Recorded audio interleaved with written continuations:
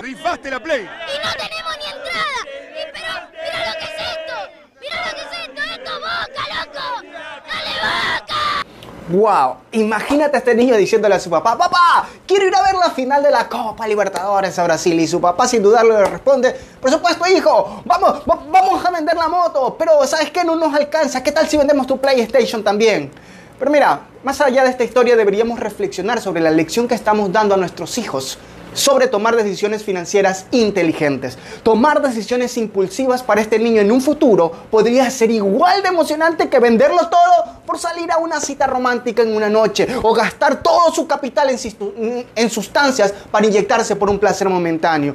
Y estas son cosas que nos pueden llevar a la ruina económica. Así que la próxima vez que sientas la tentación de vender tu alma por una entrada de fútbol, recuerda que las emociones no son las mejores consejeras financieras. A veces Perderse un partido de fútbol puede ser un precio justo por un futuro más brillante. Aprendamos a tomar decisiones financieras inteligentes.